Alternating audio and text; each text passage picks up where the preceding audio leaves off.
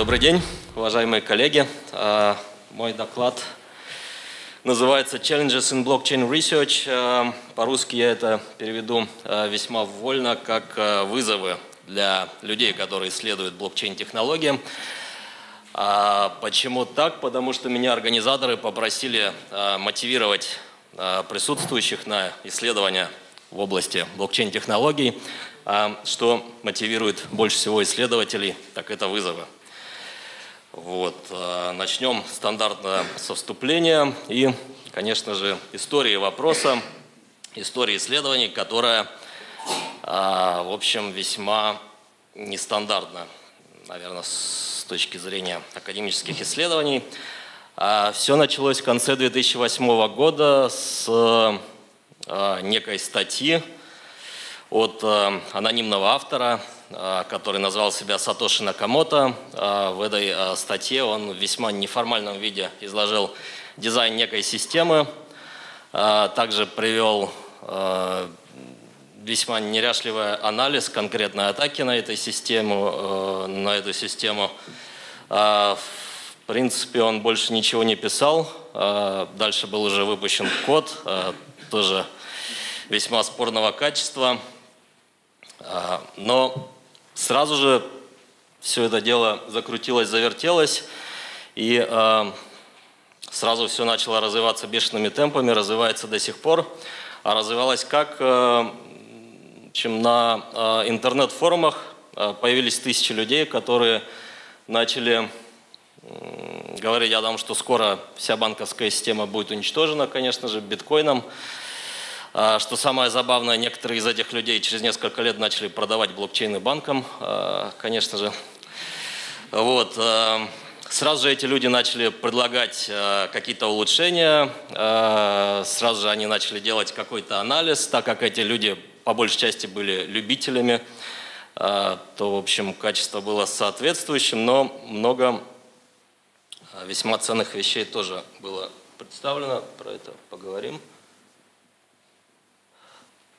Так, и э, затем начала уже подтягиваться э, академическая среда уже в 2013 году. То есть, когда уже все это немного вылезло из э, форумной среды, вот, а когда уже на форуме произошло, на форумах много чего, вот уже начали э, люди подтягиваться с академической среды, как я уже сказал. Э, о чем, значит, шла речь в начальной статье, которая там всего лишь на 8 или 9 страниц, и опять же э, весьма неформально. Э, речь э, шла о создании системы биткоин, биткоина, да, система леджера, реестра, ну, можно сказать, бухгалтерской ведомости. То есть мы ведем ведомость, каждая строка ведомости – это проводка, как говорят бухгалтеры, а, то есть указание того, а, сколько денег один участник системы перевел другому вместе с подписью цифровой. А что интересно, мы не используем здесь никакого центробанка, никакого доверенного бухгалтера. Мы работаем в сети, которая, во-первых, одноранговая, опять же, то есть нету никаких центральных сущностей в ней доверенных. А сеть открытая, то есть к ней может подключиться кто угодно, как и отключиться. И э, мы также предполагаем, что в этой сети э, участники, они используют э, обычное аппаратное обеспечение, ну, как ноутбук передо мной, например. То есть, может быть, мы можем откинуть сотовые телефоны, но мы не предполагаем, что у участников есть какой-нибудь а, специальное железо или терабайтные каналы или что бы то ни было. То есть а, вот в такой непростой среде мы хотим построить а, глобальную бухгалтерскую ведомость. Как это мы хотим сделать? Ну, во-первых, мы проводки строчки бухгалтерской ведомости упаковываем в так называемые блоки. А блок у нас а, представляется таким триплетом из а, значения h, а, x и w. Соответственно, И X это у нас транзакция, проводки ведомости. H это ссылка на предыдущий блок, хэш предыдущего блока. V это случайно выбранное значение, называемый nonce. И мы требуем, что блок, который у нас добавляется, чтобы он был валидным, то есть чтобы он указывал валидным образом предыдущий блок, а, чтобы в нем были валидные транзакции, конечно же. И а, в блоке у нас еще а, предоставляется доказательство произведенной работы, так называемый proof of work. Предоставляется он при помощи такой вот проверки на нахождение частичной коллизии хэш-функции. То есть мы требуем, чтобы значение хэша от блока было меньше некоторого порогового значения t. А, соответственно, за а, а, один вызов хэш-функции у нас есть конкретная вероятность успеха. И, в общем, меняя этот параметр t, мы можем менять сложность добычи блока в зависимости от того, сколько у нас участников сети и сколько они проделывают работы. Изначально автор, некий Сатоши Накамото, думал а, мечтал о том, что вот э, будут обычные люди генерировать блоки. Была у него некая аналогия с системой голосования, только в данном случае голосование у нас делается путем проделываемой работы, и была у него фраза «one CPU, one vote», э, «один процессор, один голос» в статье. А вот здесь приведена структура блокчейна. То есть, как мы понимаем, если у нас хэш-функция устойчива к коллизиям, то мы не можем поменять или выкинуть, допустим, блок перед последним, 51 Мы можем, э, допустим, забыть про последние два блока, начать новую версию истории, но нам надо переделать всю работу. И вот эта структура блокчейна, она полностью реплицируется э, на каждом из компьютеров. Это, опять же, самые обычные ноутбуки, предположение. И, в общем, собственно говоря, с этого начался мой интерес а, к технологии блокчейн. То есть это весьма такая странная получается система с точки зрения распределенных систем. Система да, вырожденная, то есть здесь, по сути дела, нет распределения, да, то есть мы полностью реплицируем все данные. Вот, поэтому мой вопрос был изначально, как оно вообще может работать и почему в таких условиях. А, вот, а, в реальности все пошло не так, как планировал анонимный автор. А, вот на слайде приведена упрощенная э, схема реальной биткоин-сети. Здесь у нас, соответственно, э, участники не одинаковые. Здесь э, есть те, те, те, кто генерирует блоки, майнеры, причем они объединяются еще в так называемые пулы, совместно работают над блоками, чтобы свести, чтобы уменьшить отклонение, соответственно, от ожидания при добыче блока. Здесь есть различные легкие клиенты, здесь есть целая плеяда протоколов самых разных. Э, в общем, все гораздо сложнее на практике, во-первых. А, во-вторых, на практике оказалось, что а, а, хэш-функция реально она не идеальная, да, то есть э, здесь мы предполагали идеальную хэш-функцию со свойствами случайного оракула. В реальности э, экономика начала диктовать оптимизации используемой кэш-функции SC256, а, появились различные патентованные технологии, которые учитывают внутреннее стороне этой функции, чтобы дать преимущество при добыче блоков. А, в реальности также идея One CPU, One Vote, один процессор, один голос провалилась. Вот уже в конце 2015 года эти 7 человек контролировали 90% мощности майнинга в сети. Вот.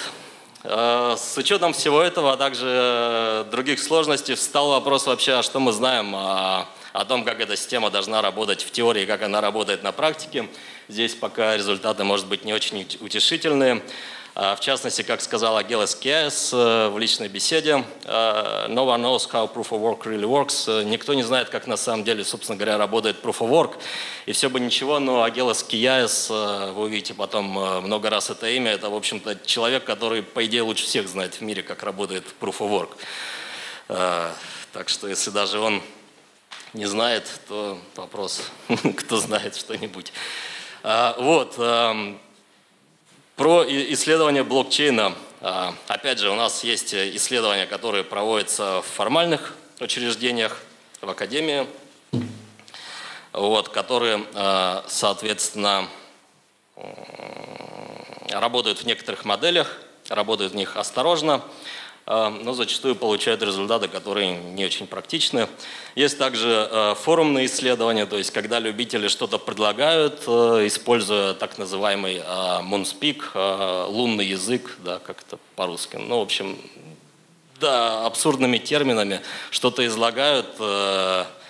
Большая удача понять обычно, что, собственно говоря, человек говорит на форуме. Вот, как правило, все, что люди предлагают, очень уязвимо, Э, но прогресс в этой области форумных исследований делается очень быстро, потому что, да, нету э, peer review, да, э, не, не, нету рецензий, нету никакой ответственности, люди генерируют результаты очень быстро. Вопрос качества. Да. Перейдем к тому, как исследования обстоят, соответственно, в академической среде. Я разбил статьи, существующие я их стараюсь читать все, хотя сейчас это уже стало невозможно.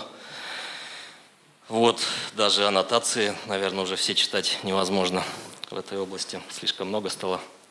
Статей, а, в общем, я разделил на три группы. То есть, во-первых, это различные предложения по а, улучшению существующих блокчейнов, а также а, построению протоколов поверх блокчейнов. Второе – это, значит, моделирование систем – существующих или интересных с точки зрения практики, и э, получение интересных на практике результатов из моделей. А, и третье – это эмпирические исследования и э, нахождение конкретных уязвимостей в конкретных продуктах. Я сконцентрируюсь на а, второй области больше всего, то есть на моделирование. Остальное расскажу вкратце. Э, ну, начнем Прежде всего с вопросом, а нужен ли нам вообще блокчейн. Вот, сейчас э, вы, наверное, поняли уже много шума, э, много желания блокчейн внедрить и туда, и сюда. Э, встает вопрос, а зачем, а нужно ли, а нету ли более эффективных технологий. Вот есть несколько работ в этой области. Одна так и называется «Doing it a blockchain», нужен ли вам блокчейн. Вот где приведена схема которая позволит выяснить, нужен или нет вам блокчейн. По-моему, она даже на русский, да, сейчас переведена схема. Да, переведена, где-то ее можно найти. А вторая, значит, э, работа Марка Вуколича сравнивает э, блокчейны со стандартными уже протоколами э, репликации состояния в модели с произвольными отказами, BFT replication, так называемые протоколы. А, вот. А, ну, к сожалению, не так много работы в этой области, нам нужно больше. Нам нужно больше понимать, как блокчейн внедряется, нужно ли оно было и нужно ли внедрять в будущем куда-нибудь его. А, дальше переходим к Proof of Work блокчейнам, к анализу блокчейна биткоина. Соответственно, здесь главный результат, главная модель, которая сейчас стала стандартной, это от Хуана Грея, как раз Агела Сакиаеса и Никаса Леонардоса. По именам авторов ее называют The GKL Model. А, то есть сейчас GKL это уже стандартный термин. А модель рассматривает, а, в отличие от изначальной статьи Сатоши, уже как раз протокол биткоина как криптографический протокол, где неприятель, нарушитель может, в принципе, делать все, что ему заблагорассудится. То есть он уже это стандартно в анализе криптографических протоколов ограничен только классом э, задач, сложностью задач. Вот, и э, изначальная модель, она рассматривала синхронную сеть, Дальше появилась статья от Рафаэла Паса и прочих его соавторов, которая уже анализировала модели с задержкой сообщений, когда у нас уже неприятель может задерживать сообщения в определенных интервалах. Моделей нужно больше, модели должны быть ближе к реальности. GKL тут очень много опускает на самом деле. И модели должны да, также быть теоретически безупречными. Вот, э, сама модель GKL улучшается. Последняя версия ее от марта 2017 года на ePrint. Соответственно, последние модели, они уже тоже рассматривают э, задержки в сообщениях возможные. А, вот, ваш покорный слуга с авторами готовит в этом месяце статью Multimode Cryptocurrency Systems, которая будет рассматривать э, тоже э, более приближенную к практике модель биткоин-системы. Вот. Как показал анализ в модели GKL, блоки не следует выпускать слишком часто. Там возникают определенные проблемы с безопасностью. Соответственно, люди стали думать, как это все можно обхитрить. Появилось множество гибридов, когда допустим, выпускаются сначала пустые блоки, сгенерированы через Proof of Work, и потом после них, допустим, идут уже блоки с транзакциями от генератора Proof of Work блока или от а, последних а, генераторов блоков а, с мультиподписью. Или, а, допустим, вместо линейной структуры мы рассматриваем более сложные, так называемый ГОСТ протокол от Самполинского и Захара. Значит, нам нужно больше валидации этих протоколов. Здесь очень хороший пример, это статья от Агела Скияеса и прочих uh, on trees, chains and fast transactions in the blockchain, где они показали, что протокол ГОСТ на самом деле uh, работает не так, как uh, заявляют его авторы, и что авторы заявляют о том, что он позволяет чаще выпускать транзакции в сети, но из анализа стороннего получается, что наоборот работает даже хуже, чем изначальный протокол биткоина. Вот, то есть хорошо бы провалидировать работы, которые есть, и как-то их сравнить между собой. Опять же вопрос по какому базису. А, да, и цитата из этой статьи.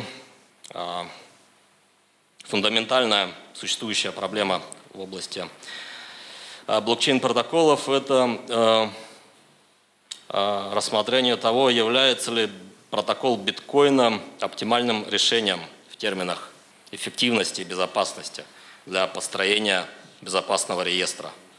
Вот, вопрос действительно открытый, фундаментальный и не решен.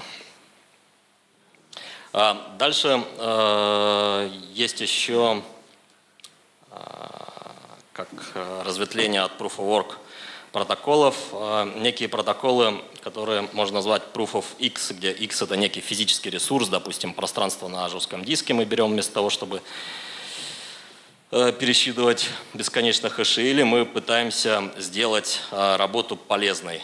То есть вот, статья от Миллера и прочих пытается, допустим, построить аналог Proof of Work схемы для того, чтобы мотивировать хранения данных в распределенной сети. Таких статей не очень мало уже, но надо больше. А, хорошо бы было работу выполнять полезную, а не просто сжигать электричество с целью нахождения частичной коллизии хэш-функции. И надо бы еще проанализировать уже существующие схемы. Ваш покорный слуга участвовал э, в реализации вот как раз э, статьи от Миллера и остальных. И, э, в общем, впечатление такое, что, скорее всего, на практике протоколы работают не так, как указано в статье, своих целей не достигает. Вот, дальше тема 2016 года, Proof of Stake. Сначала идея оказалась абсолютно небезопасной и абсурдной. Построения блокчейнов, когда право генерации блока дается тому, кто вот, э, уже имеет деньги в блокчейне. То есть вот мы имеем балансы в системе, допустим, у Алисы есть там 10% денег в системе, и она должна иметь 10% э, вероятности генерации следующего блога. А, вот. Но в 2016 году появились э, статьи про Proof of Stake протоколы с доказуемой безопасностью. Опять же, вот Агелос Кияеса. Самая массивная работа, протокол Ураборос. И, да, есть еще вот Даяны и остальных. И там есть еще парочку работ. Но э, модель доказуемой безопасности, во-первых, немного спорна в этих статьях. То есть это дискуссии продолжаются очень активные, насколько она имеет смысл для практики. А во-вторых, э, протокол это может доказуемо безопасный, но это не значит, что они интересны на практике, потому что на практике нам еще нужны эффективные протоколы. Текущие статьи описывают неэффективные протоколы. Вот. А если брать протоколы, которые используются на практике, а, то про их безопасности ничего не, известно. Но, с другой стороны, никто их и не взломал за несколько лет. То есть это открытое поле для исследований. Вот. А, все а, представленные до этого момента результаты у нас предполагают, как правило, стандартный в криптографии анализ, когда у нас есть честные участники, есть соответственно, э, участники под контролем неприятеля. Э, но в реальной жизни у нас участники не всегда и честные или нечестные, они э, обычно рациональные да, в реальной жизни. То есть в той же сети биткоина люди генерируют блоки не потому, что они честные, а потому, что они хотят заработать денег. А, вот, и возникает очень много вопросов, связанных с рациональностью поведения участников. А, очень хорошую лекцию про проблемы рациональности а, в биткоине прочитал Джонатан Кац на школе в Шанхае этой зимой. И вот из нее цитата из этой лекции Джонатана Катца о том, что э, биткоин предоставляет очень богатое поле для исследований эффектов рационального поведения участников протоколов. А, поле очень богатое, но статей на самом деле значимых там, в принципе, меньше десятка, я думаю. А, я расскажу немного про вторую и третью работу. Вторая работа от а, Лой Лу и прочих посвящена так называемой дилемме верификация. А, в общем, а, речь идет о том, что вот смотрите, а, тот, кто генерирует блок, он же должен сгенерировать валидный блок. То есть ему надо проверить транзакции. Но эта проверка, она требует времени. Соответственно, это, э, э, это время, которое уходит на валидацию, оно не уходит на перебор хэшей. То есть оно Э, бесполезно. То есть э, получается, что если, допустим, э, есть большое постоянное вознаграждение за блок в частности, то выгодно вообще генерировать, допустим, пустые блоки, никаких транзакций не включать, то есть просто впустую перебирать хэши. Опять же, если заниматься честной деятельностью, то здесь возникает еще простор для атак, то есть можно выпускать тяжелые транзакции в сеть с тем, чтобы замедлить других майнеров. Третья работа, она рассматривает стабильность биткоин-сети, когда из нее исчезнет а, постоянное вознаграждение за блок. То есть в биткоине изначально вознаграждение было 50 биткоинов за блок, каждые 4 года уменьшается в два раза, то есть по экспоненте мы идем к полному исчерпанию выпускаемых денег в сети. И э, статья номер три говорит о том, что когда это вознаграждение у нас устремляется к нулю, а, перестает работать стандартное предположение о том, что честные участники сети, они хотят добавить блок в конец. То есть они начинают хотеть э, сгенерировать а, блок а, в той подцепочке, которая оставила как можно больше транзакций для включения в блок, соответственно, чтобы получить максимум денег. То есть рациональная стратегия здесь уже не та, которая предполагается и та, которая наблюдается в данный момент. Соответственно, биткоин может работать нестабильно. А, в таком режиме, а, опять же, вызовы для исследователей. А, нам надо исследовать, во-первых, с точки зрения рационального поведения все варианты по улучшению протоколов существующих. Такой работы нету абсолютно. Во-вторых, даже неизвестно много про то, что в биткоине сейчас происходит с рациональной точки зрения. И два последних вопроса поставил Джонатан Кац во время школы, во время лекции.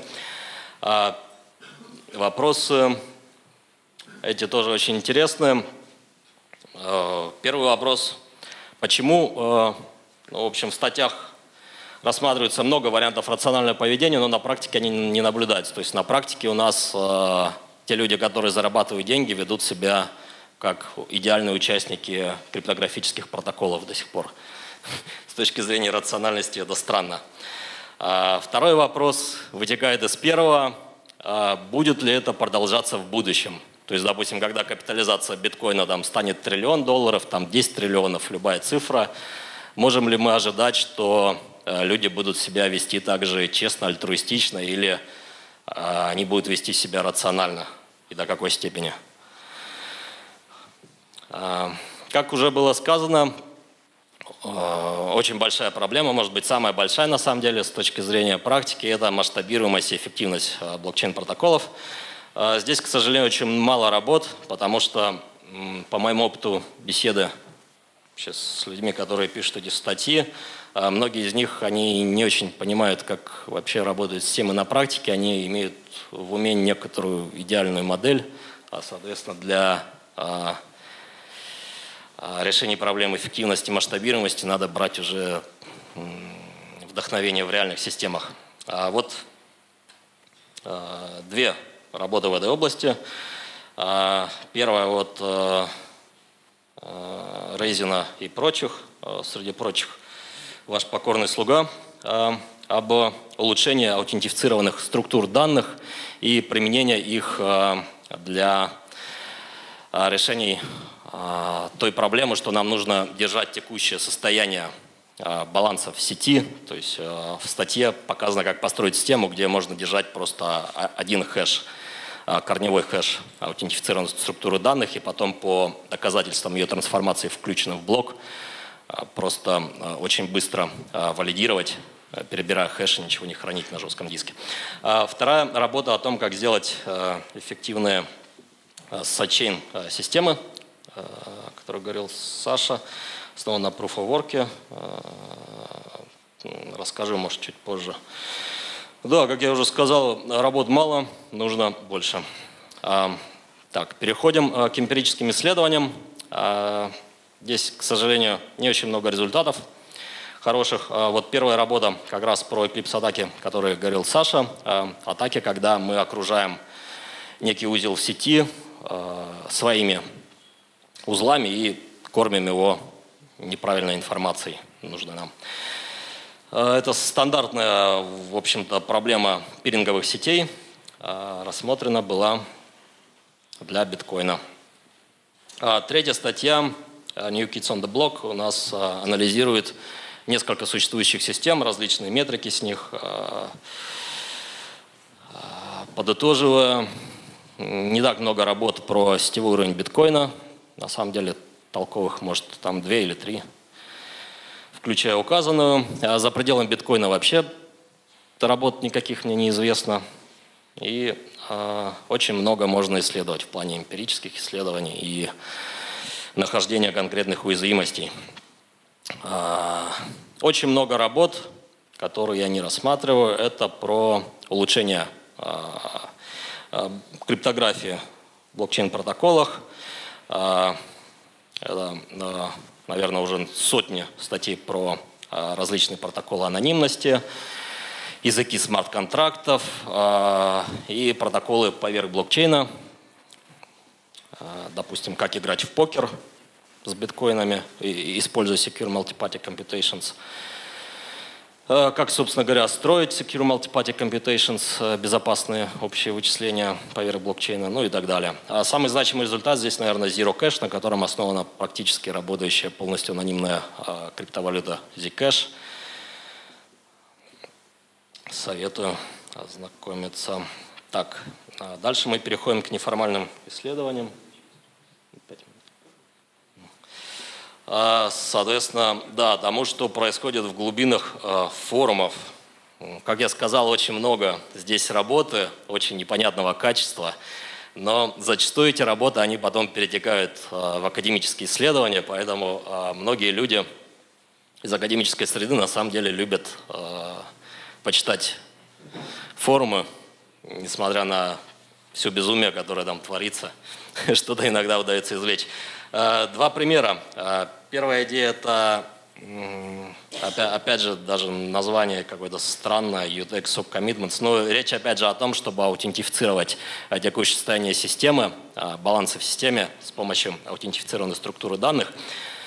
Изначальный пост на форуме, ссылкой, приведенной на слайде – ну, там тяжело понять даже, да, в чем состоит суть предложения, но да, было какое-то предложение, которое потом было развито э, э, в статье, причем не очень плохой, от анонимного автора, нигде не опубликованный, соответственно, э, где уже предлагалось отойти от хранения состояния целиком, используя эти структуры данных, и потом, соответственно, мы развили эту идею в статье Improving Authenticated Dynamic Dictionaries.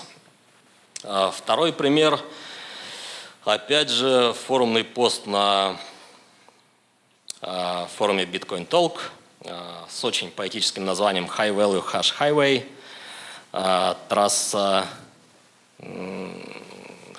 значение хэш-функции да, high, high value. На самом деле там имелось в виду про low value.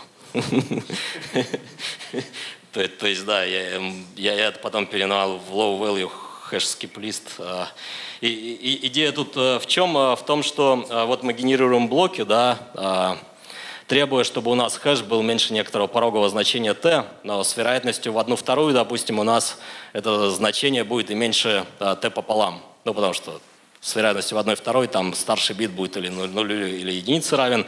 А, также можно идти дальше для t поделить на 4, t поделить на 8 и так далее.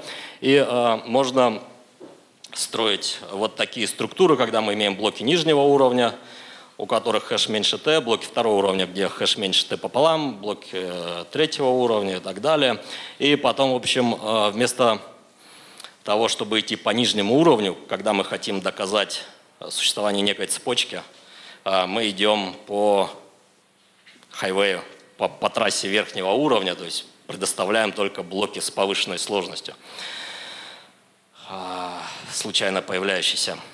Вот, и а, опять же, изначально а, понять, о чем вообще речь была на форуме, то есть что конкретно имел автор в виду, наверное, проблематично, но идею Агела Скияс и его студенты развили достаточно хорошо в статье Proofs of Proof work with sublinear complexity. То есть как можно предоставлять доказательства существования а, некой цепочки за логарифм от ее размера. Это, опять же, полезно для а, сайдчейнов, ну и может быть полезно для мобильных кошельков различных. А, подытоживая эти два примера, э, у нас, да, есть очень много форумных исследований. Большинство тяжело даже осознать, собственно говоря, о, о, о чем говорят авторы. Большинство, конечно, предложений тривиально небезопасны, при этом многие из них реализованы. Вот, и э, какое-то зерно, наверное, в некоторых предложениях тоже есть, осталось его найти. А в качестве э, проблем с безопасностью, вот есть такая криптовалюта э, Манера, в которой есть схема анонимизации, любительская, сделанная на коленке. Есть уже пара статей о том, что на самом деле схема не работает, то есть можно проследить связь между э, отправителем денег и получателем, как бы э, протокол на коленке не пытался ее скрывать.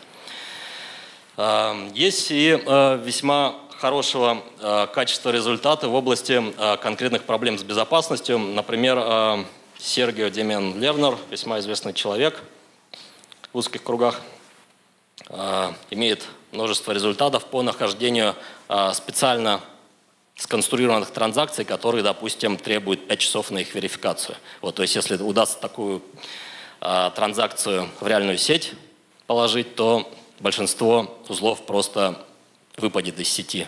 И вообще результаты будут весьма печальны, наверное, для всего блокчейна. А, вот. А, вторая работа неформальная – это пост в блоге, а, анализ атак на сеть Ethereum осенью 2016 года. Там было очень много очень интересных атак различного образа, то есть, опять же, со специально сконструированными транзакциями, с учетом внутреннего строения клиентов сети Ethereum, с нахождением дешевых инструкций в языке смарт-контрактов и так далее.